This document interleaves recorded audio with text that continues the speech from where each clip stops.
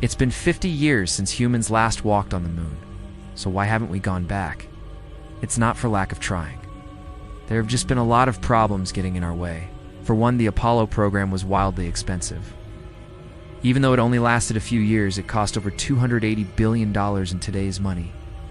And that was with a lot of government funding. Not only that, but the technology just wasn't there yet. We didn't have the computing power or the materials to make the ships and the rockets that we needed to get to the moon and back safely. But perhaps the biggest reason we stopped going to the moon was the risk. Not only were the astronauts risking their lives, but the ships were also carrying a lot of radioactive material.